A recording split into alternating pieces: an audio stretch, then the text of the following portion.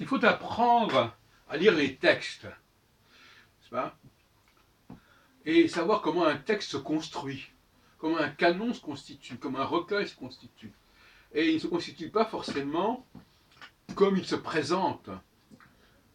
J'ai notamment récemment introduit, notamment dans le café Philo McDo, il y a quelques, très peu de temps d'ailleurs, la notion de préquel.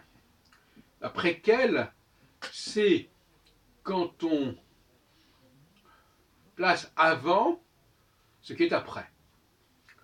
Par exemple, dans Star Wars, il y a eu des préquels, pas uniquement d'ailleurs dans Star Wars, des préquels qui nous montraient euh, la vie de personnages dont on avait déjà parlé, mais leur vie avant la période dont on a parlé.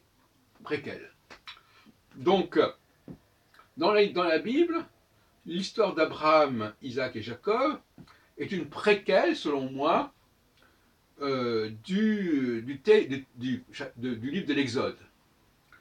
En fait, c'est-à-dire que pour comprendre la signification de ce qu'on lit dans la Genèse, il faut lire l'Exode. D'abord.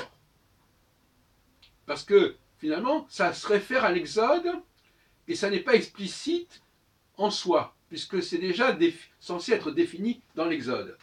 Le cas, par exemple, qu'est-ce que c'est que Dieu Quand Dieu parle à Abraham, qui c'est ce Dieu ben, Pour le savoir, il faut lire l'Exode, chapitre 3. À ce moment-là, on voit que Dieu, que ce qu'on appelle Dieu, c'est finalement, euh, ce sont les dieux d'Abraham, Isaac et Jacob. Voilà. Et c'est comme ça qu'il faut le comprendre.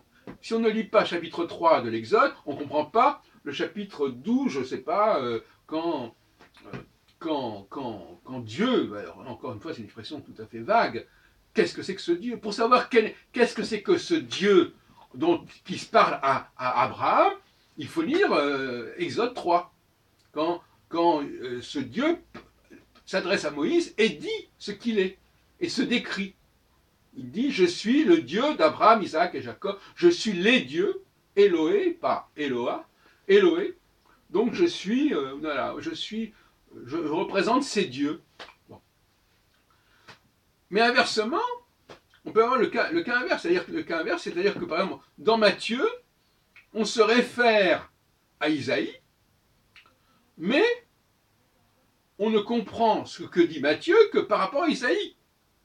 Parce qu'effectivement, dans Matthieu, il est question d'Emmanuel. Emmanuel. Emmanuel, il d'ailleurs, euh, euh, bon, alors Emmanuel, qui c'est cet Emmanuel dont on parle très brièvement, très succinctement, dans le chapitre 1 de Matthieu eh bien, Cet Emmanuel, c'est un, prophète de malheur.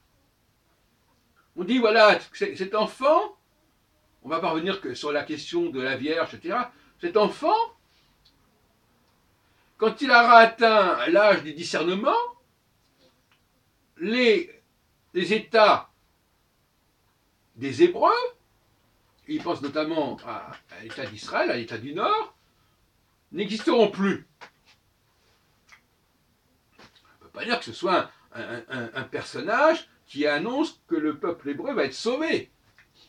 Donc ça peut être de malheur. Et d'ailleurs, quand on regarde de près, même euh, historiquement,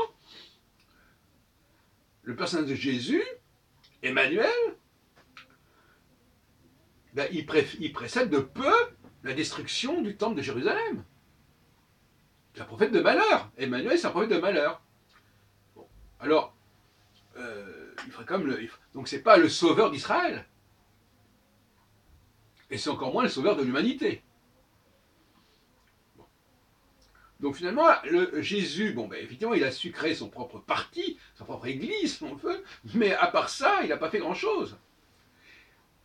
En revanche, Spinoza, dont j'ai parlé récemment, Baruch Spinoza, au XVIIe siècle, né en 1734 par là, lui, il annonce une nouvelle ère. Il ne le dit pas d'ailleurs explicitement, mais il l'annonce.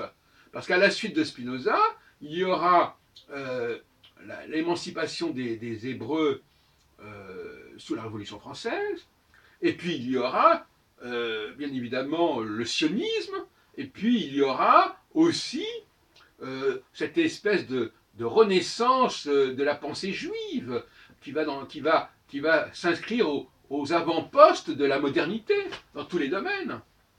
Et ça, Ça montre qu'il y a une transformation quelque part de, l'intelligence juive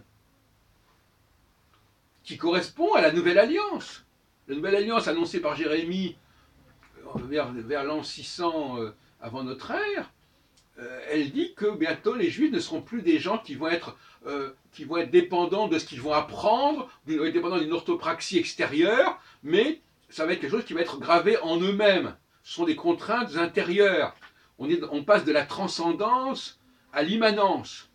Ce sont des valeurs qui, naissent en moi. Ça veut pas dire qu'elles ne sont pas données transcendamentalement par Dieu, mais elles sont en moi. Elles ne sont pas dans les textes, elles ne sont pas dans les livres. Je renvoie à la conférence de Jean Mariani sur ce sujet lors du Tafé Tao euh, qui a eu lieu samedi dernier euh, avec Jean-Luc Berlet. Bon. Voilà, donc finalement, euh, ce Jésus, il faut bien dire ce comme elles sont, il, a, il, est, prophète de quoi donc euh, c'est pas, le Spinoza montre que c'est vraiment lui, c'est vraiment avec Spinoza, qui d'ailleurs lui-même a été excommunié et qui lui-même a été blessé par quelqu'un euh, de la communauté. Alors, effectivement, alors Marmani dit oui, mais Spinoza il représentait pas le vrai judaïsme. Je suis désolé. Moi, je considère que Spinoza, au contraire, il représente la nouvelle alliance. Il incarne pleinement, philosophiquement, la nouvelle alliance. Euh, il annonce Bergson, il annonce euh, Kant, etc. Elle annonce quelque, le quelque chose qui est en nous, comme ça, que des catégories que nous avons en nous-mêmes, les, sources de la conscience, etc. Donc, euh, avec le recul, on s'aperçoit que Jésus était tout au plus un Emmanuel, prophète de malheur, qui annonce la, destruction, non plus euh, du royaume du Nord, mais de... bon, et, il annonce une nouvelle, catastrophe majeure, qui est d'ailleurs célébrée par les Juifs, par le, jeûne du Tisha B'Av, la destruction du second temple, euh, qui avait été amélioré et agrandi par Hérode en l'an 70 de notre ère, donc c'est-à-dire 37 ans après sa mort, si on s'en tient à la chronologie habituelle. Bon, donc euh, voilà ce qu'il fallait dire. Donc voilà, donc d'un côté, euh, donc finalement Matthieu, alors je ne dis pas que Matthieu avait cette idée en tête, mais Matthieu il se sert d'Emmanuel, on ne lui a pas demandé de se servir d'Emmanuel. Pourquoi il se sert d'Emmanuel? Il y a un contresens majeur. Il sert d'Emmanuel, mais il trompe, il, dit, il, parle d'Emmanuel, mais il ne dit pas tout ce que Isaïe dit sur Emmanuel. Il ne dit pas pourquoi Isaïe parle d'Emmanuel.